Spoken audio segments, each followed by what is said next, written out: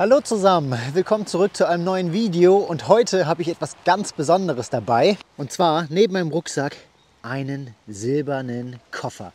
Und was da drin ist, schauen wir uns jetzt einmal an. Und ich muss tatsächlich in die Weitwinkelfunktion umschwenken, weil dieser Koffer einfach zu lang ist. Und wenn wir ihn aufmachen, dann sehen wir da drin das längste Objektiv der Welt. Nein, Spaß beiseite, die Teleobjektive sind natürlich länger, aber wir könnten, glaube ich, sagen, das längste Weitwinkelobjektiv der Welt haben wir hier in dem Koffer. Das ist das Laowa 24 mm Probe und das schauen wir uns jetzt einmal genauer an.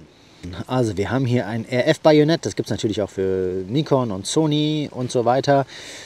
Wir haben ein rein manuelles Objektiv, das wir ja, über die zwei Ringe äh, fokussieren können, die Blende verstellen können und dann ist hier noch so ein Nupsi, den wir uns gleich nochmal anschauen. Und wir schauen uns hier einfach mal vorne das Objektiv ohne Kappe an und da sehen wir schon, da sind rund um diese wirklich winzige Öffnung LED-Lichter. Und dann kommen wir zu dieser Buchse hier, da sehen wir auch einen USB-C-Anschluss. Da können wir solch ein Kabel anschließen das gibt es auch in schwarz, ist auch dabei, liegt allerdings bei mir im Auto. Und eine Powerbank an dem Kabel befestigen, sodass die LED leuchten. Das Besondere ist, wir haben eine 2 zu 1 Vergrößerung. Wir haben 24 mm Weitwinkel und dieser Teil hier vorne, der ist komplett wasserdicht. Das heißt, wir können mit diesem Objektiv tauchen gehen, also was heißt tauchen gehen, am Gewässerrand liegen und ähm, fotografieren, unter Wasser fotografieren. Wir müssen halt aufpassen, dass kein Wasser in die Buchse reinkommt. Also bis hierhin darf es ins Wasser, dann ist Schluss. Durch diesen extrem kleinen Objektivdurchmesser können wir natürlich auch im Flachwasser arbeiten, was wir zum Beispiel mit herkömmlichen Unterwassergehäusen nicht können, beziehungsweise mit herkömmlichen Objektiven. Von daher würde ich sagen, wir tauchen jetzt wirklich mal ab in die Praxis. Hier hinter mir ist extra der Bach, deswegen bin ich hier im Regen unterwegs und wir schrauben das Objektiv dran. Schaut schon aus wie so ein kleiner Zauberstab. Ähm, es ist extrem leicht, tatsächlich. Das ist noch erwähnenswert. In meinen Augen sogar zu leicht. Also selbst mit Kamera ist es dadurch ein bisschen wackelig. Also ich würde es mir schwerer wünschen. Da gibt es noch verschiedene Stativfassungen und sonst was, die man extra kaufen kann. Kostet allerdings relativ viel Geld. Von daher bin ich äh, erstmal solo mit diesem Objektiv unterwegs. So, so schaut das Objektiv aus, 24 mm. Ich habe hier 35 mm Weitwinkel als Vergleich. Aber die Länge von dem Objektiv ist tatsächlich der große Vorteil auch von diesem Objektiv.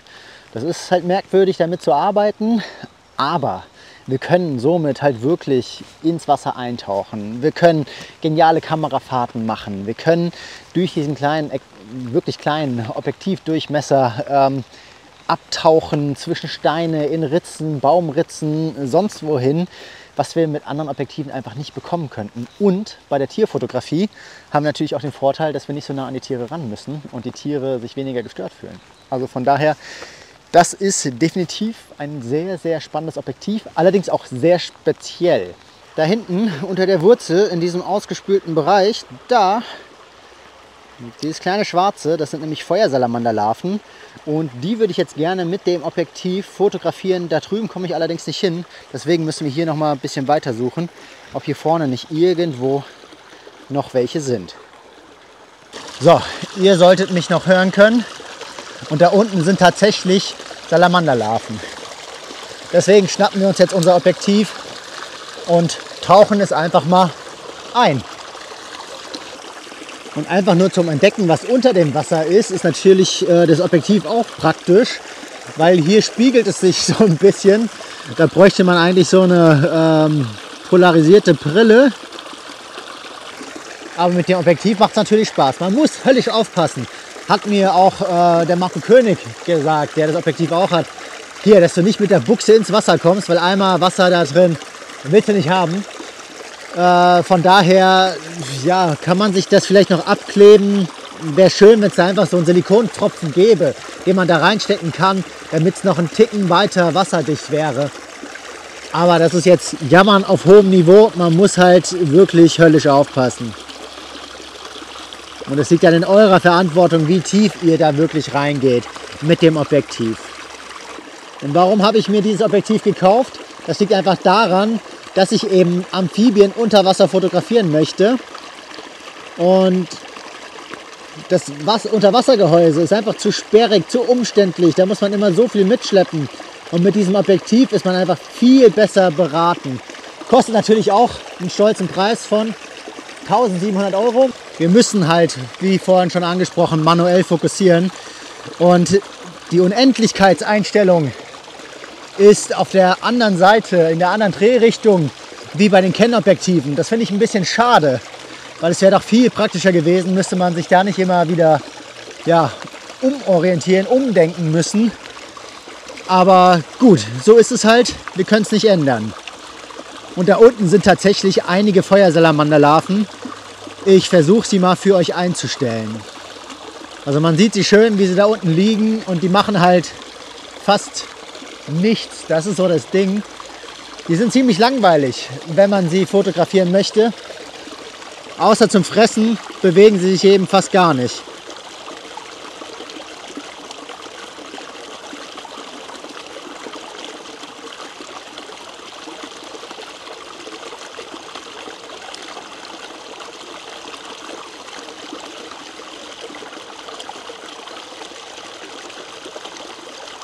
Und da unten krabbelt jetzt eine Köcherfliegenlarve.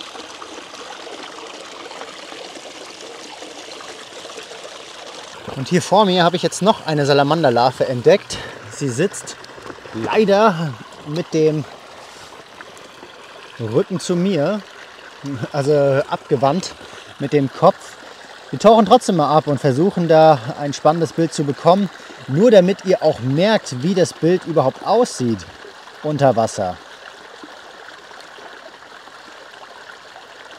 Und ich film und ich finde persönlich, dass die 24 mm fast nicht weitwinklig genug sind. Also da hätte ich mir wirklich irgendwie so 17 mm gewünscht.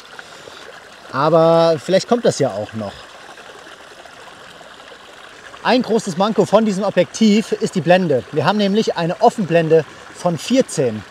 Und da muss man den ISO bei solch einem Wetter natürlich schon extrem in die Höhe treiben, beziehungsweise muss man damit Kunstlicht arbeiten. Und das ist ein bisschen schade. Äh, da hätte ich mir eine bessere Blende gewünscht. Aber so ist es eben aufgrund dieser Spezialkonstruktion.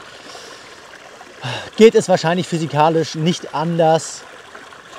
Aber auch da wird es mit Sicherheit in Zukunft irgendwelche Neuerungen geben. Vielleicht gibt es dann auch noch mal ein lichtstärkeres und weitwinkligeres Objektiv. Das wäre natürlich ein Traum.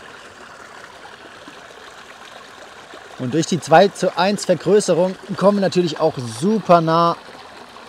Also einerseits kommen wir super nah an die Tiere ran. Die Einstellgrenze ist der Hammer. Und die 2 zu 1 Vergrößerung ist natürlich auch noch mal irgendwie ein Game Changer. Ich fotografiere jetzt allerdings mit ISO 5000 und nutze die Bildschirmlupe, um da wirklich den Fokus genau setzen zu können. Und das Objektiv ist in meinen Augen auch für den näheren Abbildungsmaßstab gemacht. Ich teste das jetzt gleich nochmal, wie die Auflösung, wie die Schärfe ist von dem Objektiv, wenn man ein bisschen weiter weg fokussiert, also Richtung unendlich geht. Aber ich glaube, die größte Schärfe erreichen wir dann doch wenn wir im Nahbereich arbeiten.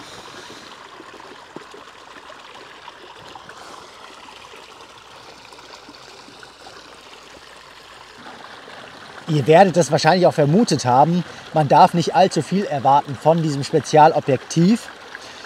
Aber in meinen Augen ist das Objektiv ausreichend scharf.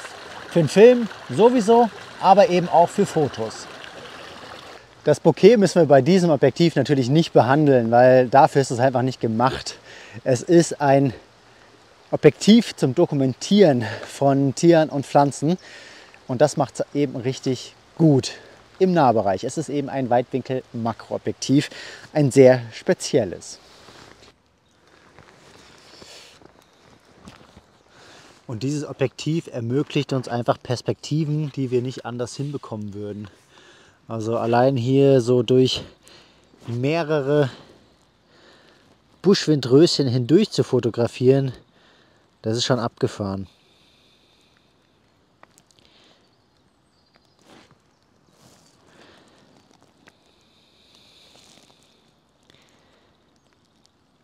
Aber es ist ein Gefriemel, bis man dann letztendlich zu seinem Bild kommt.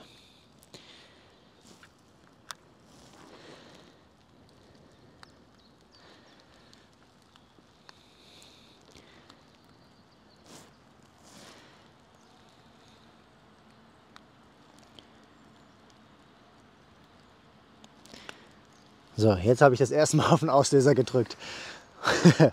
Nicht einfach, aber wenn es dann klappt, ist es umso schöner.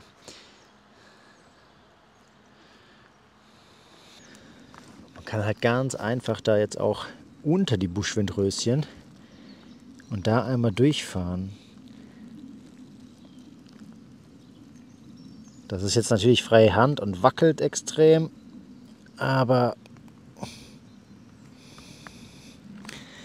Ihr könnt euch, glaube ich, vorstellen, was man damit machen könnte. Das war es auch schon vom ersten Eindruck zu diesem Objektiv. Ihr werdet mit Sicherheit Fragen haben. Ich freue mich drauf. Schießt los in den Kommentaren. Ansonsten bedanke ich mich bei euch fürs Zuschauen und auch nochmal ein riesen Dankeschön an die Kanalmitglieder, die mich mittlerweile unterstützen. Das ist mega lieb von euch. Vielen, vielen Dank. Ansonsten hoffe ich, dass das Video Spaß gemacht hat und wir sehen uns beim nächsten Mal. Macht's gut!